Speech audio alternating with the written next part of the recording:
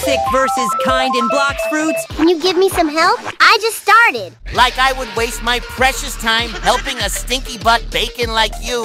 Why you gotta be so rude to me? Because noobs like you are the worst kind of players out there. You will never be strong. Can you give me some tips?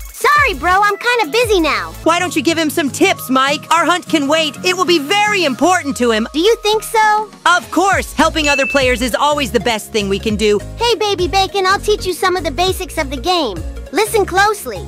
These were the nicest guys I've ever seen. You should consider subscribing to Silver. He's almost reaching 1 million subs. The blonde one gave me many tips, and Silver gave me a legendary pet in his own game. The werewolf one. You're so lucky.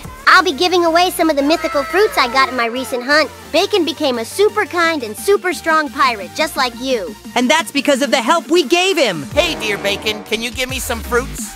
Should I give it?